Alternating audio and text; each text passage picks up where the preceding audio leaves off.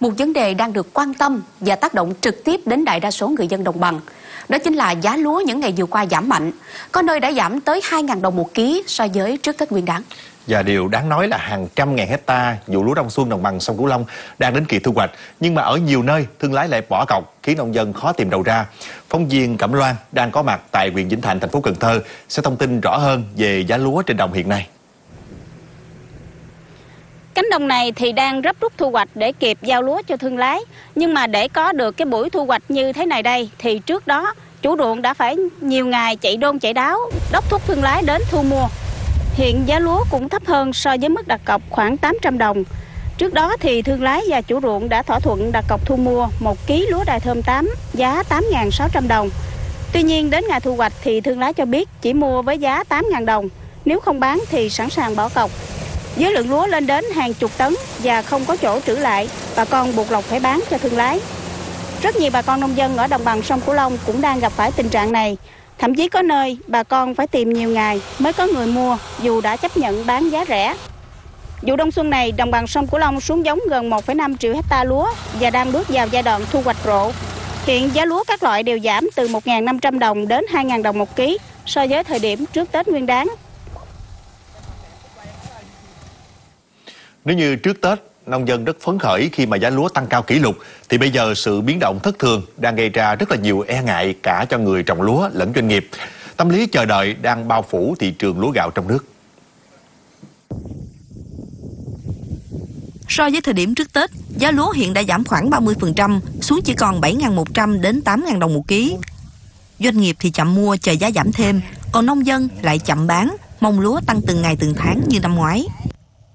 Trước đó thôi thương lái trả giá khoảng 9 ngàn, 9 ngàn 6 Nhưng mà bà con mình chưa cũng chưa chịu bán nữa Kỳ vọng đợi giá lúa 10 ngàn thôi Khi giá lúa tụt vậy thì nó cũng um, cảm thấy hơi hơi buồn xíu thôi Chứ so với các mùa vụ khác thì nó vẫn cao Vẫn đảm bảo được cái lợi nhuận của bà con nông dân Vụ đông xuân có sản lượng lớn nhất năm, chiếm đến 50% tổng sản lượng thu hoạch của vùng đồng bằng sông Cửu Long. Các nhà nhập khẩu gạo nắm được thông tin này nên chưa dội mua, chờ giá tốt. Trong nước, các doanh nghiệp xuất khẩu nguồn vốn còn hạn hẹp nên cũng e dè. Tuy nhiên theo dự báo, giá lúa có xu hướng tăng dần trong khoảng 3 tuần nữa. Nếu các doanh nghiệp không mua vào, có khả năng sẽ không đủ nguồn hàng chất lượng cho kế hoạch xuất khẩu gạo năm nay. Hiện tượng El Nino có thể kéo dài đến tháng 4 và cái tình trạng xâm ngập mặn của đồng bằng sông Cửu Long thì cái vụ mùa sắp tới nó còn là một cái ẩn số và hiện nay cái tồn kho mà điểm của Việt Nam thì nó không còn nhiều. Do vậy nên trữ lại để giữ được cái giá lúa tốt. Các cái ngân hàng và các tổ chức tín dụng thì nên đẩy ra, đẩy sớm để cho vay cho các cái doanh nghiệp. Khi người ta đã có đủ cái năng lực để xuất khẩu thì doanh nghiệp có đủ tiềm lực. Một là người ta sẽ ra sức thu mua. Thứ hai nữa là khi mà đã người ta đã thu mua thì lúa đồng cũng đã gặt được và người nông dân cũng có thể là phấn khởi và sẵn lòng bán cái thóc của mình theo Tổ chức Lương thực và Nông nghiệp Liên Hiệp Quốc, dự trữ gạo của các quốc gia có thể tăng lên 1,1% trong năm nay. Nhu cầu của thế giới vẫn lớn hơn nguồn cung. Thị trường đang nằm trong tay người bán, nên cần chớp cơ hội tốt về giá ở thời điểm này để nông dân và doanh nghiệp yên tâm sản xuất, đảm bảo mục tiêu xuất khẩu 8 triệu tấn gạo trong năm nay. Và liên quan đến vấn đề này, chúng tôi đã mời đến trường quay Phó Giáo sư Tiến sĩ Mai Giang Nam, chuyên gia về kinh tế. Dạ, yeah, mời thầy.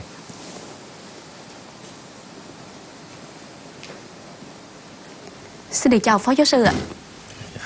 À, thưa ông, trong vòng một tuần qua thì à, giá lúa gạo trong nước cũng như là giá xuất khẩu đã giảm mạnh và thông tin này thì chiếm lĩnh nhiều cái diễn đàn. Từ đó thì tâm lý chờ đợi cũng đã xuất hiện. À, vậy thì xem xong phóng sự vừa rồi, ông có nhận định như thế nào về diễn biến giá cả trong thời gian vừa qua? Như chúng ta biết thì à, à trong à, khoảng 3 tuần gần đây thì cái giá lúa à, của xuất khẩu ở trên à, các cái thị trường à, xuất khẩu thế giới giảm giảm khoảng 15%.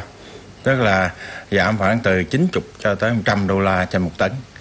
Và cái việc mà giảm cái giá gạo xuất khẩu trên thị trường thế giới này làm ảnh hưởng tới nhà xuất khẩu của Việt Nam nhất là các cái nhà xuất khẩu mà không có cái hợp đồng trước thì người ta à, trông chờ người ta sợ mua vào rồi sẽ bán ra nó sẽ bị lỗ cho nên là À, các nhà xuất khẩu hạn chế để trông chờ cái giá gạo tiếp theo có tăng lên hay không để quyết định giá mua.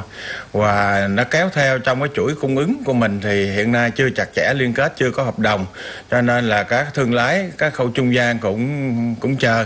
Và như vậy thì tới cái vụ thu hoạch thì người nông dân lại là à, không có hợp đồng. Cho nên là ừ, ít nhiều mua. Và cái giá à, lúa hiện nay à, giảm khoảng 15% so với bình quân của à, vào cái khoảng à, quý 4 của năm 23 và đặc biệt so với à, cuối năm 23 thì giảm khoảng từ 25 tới 30%. Dạ. Và cái này thì theo tôi nghĩ là nó có mấy lý do. Lý do chính là do cái à, cái thị trường thế giới giá gạo nó giảm. Giá gạo giảm thì như chúng ta biết thì à, cuối năm 23 thì à, các cái nước mà nhập khẩu gạo của của của, của các nước à, đặc biệt là nhập khẩu của Việt Nam thì à, do cái ngại cái tình hình của Ấn Độ à, tiếp tục hạn chế xuất khẩu gạo thường à, 5% tấm và cũng ngại cái ảnh hưởng của El Nino. Cho nên là các cái nhà xuất khẩu à, đã xuất khẩu rất là nhiều, khoảng à, à, nhiều hơn, khoảng khoảng 10 tới 15 phần trăm so với 23 và các nhà nhập khẩu họ cũng nhập nhiều để họ dự phòng cho nên trong cái những tháng đầu năm này thì à, một số nước họ ngừng nhập khẩu ờ, à, để gì dự trữ họ đã đủ thành ra nó làm cho cái thị trường sụt giảm cái giá trong cái ngắn hạn Dạ, xin được cảm ơn ông với những thông tin vừa rồi. Theo cơ quan lương thực quốc gia Indonesia thì thông báo rằng chính phủ nước này có kế hoạch nhập khẩu thêm 1,6 triệu tấn gạo để lấp đầy kho dự trữ gạo. Và đây cũng có thể là cơ hội cho các doanh nghiệp Việt Nam tiếp tục xuất khẩu gạo sang thị trường gần 280 triệu dân này. Phóng viên Hữu Hưng từ Indonesia sẽ thông tin chi tiết. Indonesia quyết định nhập khẩu thêm 1,6 triệu tấn gạo trong bối cảnh sản xuất gạo trong nước bị thiếu hụt do ảnh hưởng từ hiện tượng El Nino trong năm 2023. Với lượng gạo nhập khẩu thêm này, tổng lượng gạo hạn ngạch chính phủ Indonesia quyết định nhập khẩu cho năm nay sẽ là 3,6 triệu tấn. Đến nay, Bộ Thương mại Indonesia đã cấp giấy phép nhập khẩu gạo cho 2 triệu tấn. Dự báo, chính phủ Indonesia sẽ phải tiếp tục sớm mở thầu mua thêm gạo.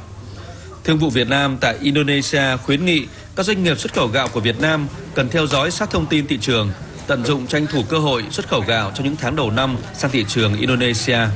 Được biết trong năm 2023, Indonesia đã trở thành nhà nhập khẩu gạo lớn thứ hai của Việt Nam với khối lượng hơn 1,1 triệu tấn gạo, trị giá hơn 640 triệu đô la Mỹ.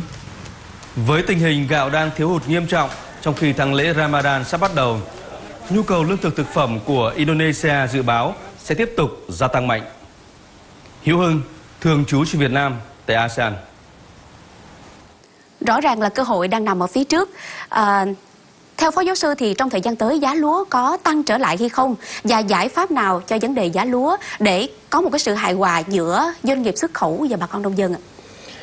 Thì à, theo tôi nghĩ thì à, giá lúa sắp tới à, sẽ tăng, có thể là bắt đầu vào cái đầu tháng tư bởi vì chúng ta thấy có hai lý do thứ nhất là cái tình hình El Nino, nó ảnh hưởng tới cái vụ mùa đầu năm 24 và một số nước thì họ sẽ bị tác động và tới thu hoạch khoảng tháng 4 tháng 5 lúc đó thì cái cái, cái các cái nước họ sẽ có cái sản lượng à, thấp và như họ phải à, nhập khẩu nhiều hơn. Và lúc đó cái giá gạo trên thị trường thế giới tăng thì rõ ràng là các cái nhà nhập khẩu à, xuất khẩu của mình cũng có cái đơn hàng mới nhiều hơn và à, đẩy cái hệ thống à, cung ứng lúa gạo của mình nó sẽ khởi sắc hơn. Và khoảng đầu tháng 4 hoặc là cuối tháng 3 giá gạo sẽ tăng lên. Dạ, xin được cảm ơn Phó Giáo sư Mai Giang Nam đã dành cho chúng tôi cuộc trao đổi ngày hôm nay.